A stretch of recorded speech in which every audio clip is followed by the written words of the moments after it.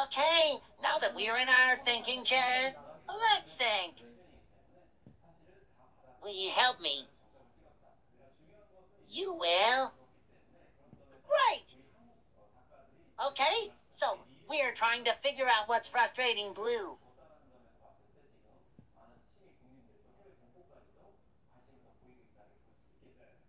And our clues are a sink, water, and a toothbrush.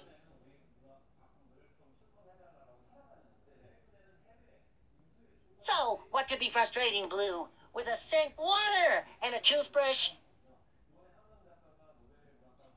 Well, if she has the sink, water, and a toothbrush all in the same place, then she probably wants to brush her teeth.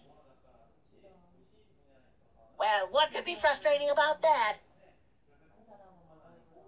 Let's think. So she could walk up to the sink. And her toothbrush is kind of high. So she could she could maybe stand in her little tippy toes. What could be frustrating about that? Oh, that's it. Blue is frustrated because she can't reach her toothbrush and she wants to brush her teeth all by herself. We just figured out Blue's clues.